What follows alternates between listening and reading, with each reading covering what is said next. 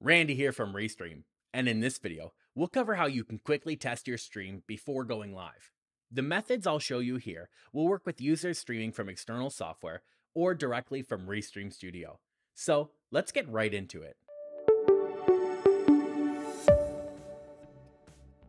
The first method we'll use uses Restream Monitor, which tracks your incoming and outgoing stream statistics and is free for all users.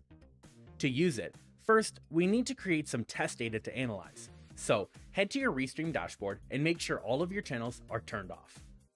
Doing so will ensure that you're only streaming to Restream and not your end channels. That way your audience isn't alerted. For the next part, you need to go live in the same way you plan to when you stream. So if you're using external broadcast software, make sure you test with the software you intend to use. Otherwise, if you're planning to stream with Restream Studio, use that to test. While streaming, I would suggest playing your usual content. For example, if you typically showcase your product while live, grab your demo or product and stream that for 5 to 10 minutes. Now, let's analyze the incoming stream data to ensure everything looks good. We can do that by opening the nav bar on the left side of Restream and choosing Monitor from the list. From here, you'll be able to see all of your previous streaming records, if you ever run into issues in the future, this is a great resource to check. But for now, let's just select the stream we just did. Now, select Monitor Incoming from the top. From here, you'll want to ensure that your stream has a relatively steady incoming bitrate. If you see dramatic changes in your incoming bitrate, it's most likely that your audience is seeing lag. Ideally, your incoming stream will not vary by more than 500 kilobytes per second. You can resolve an irregular bitrate by ensuring you're streaming with an Ethernet cable and not on Wi Fi. Another thing to look at is your stats here at the bottom, such as frame drop. If you're getting a lot of frame drop, you may likely be streaming above your upload speed. So, to fix that, try lowering your bitrate or upgrading your existing internet package. If all looks good and your bitrate is steady with no frame drops, then it's safe to turn back on all your channels and go live, as your stream is looking good. If you're worried about visual glitches, or you're looking to run a full test stream, this is where Restream recordings can come in handy. To use Restream recordings, make sure you have a Restream paid plan that supports recording for the total amount of time you usually stream. However, if you don't have access to Restream recordings, we have another method you can try, which I'll talk about in just a bit. Since we already streamed for 5 to 10 minutes to get that monitor data, we should already have a Restream recording available to check. To do that, choose the video storage from the left-hand navbar. From here, you'll want to click on the Recordings tab from the top. Now, find the video we just recorded and click play to watch it back.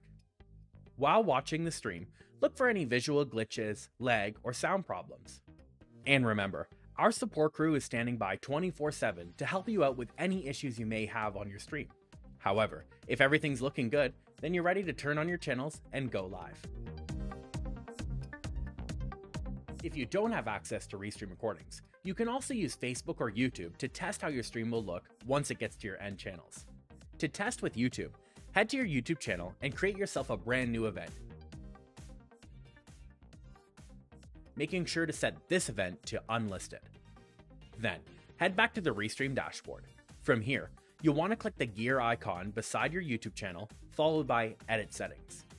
Now, choose the event you just created and click Save.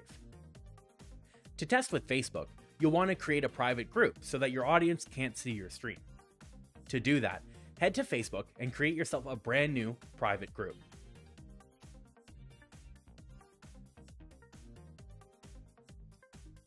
Now that's done, head back to the Restream dashboard and delete your current Facebook channel if it's added.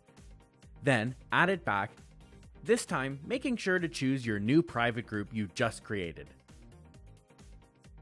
Now that you have either Facebook, YouTube, or both added, go live and check the stream on these end platforms from a different device, such as a phone or laptop, to see how they perform.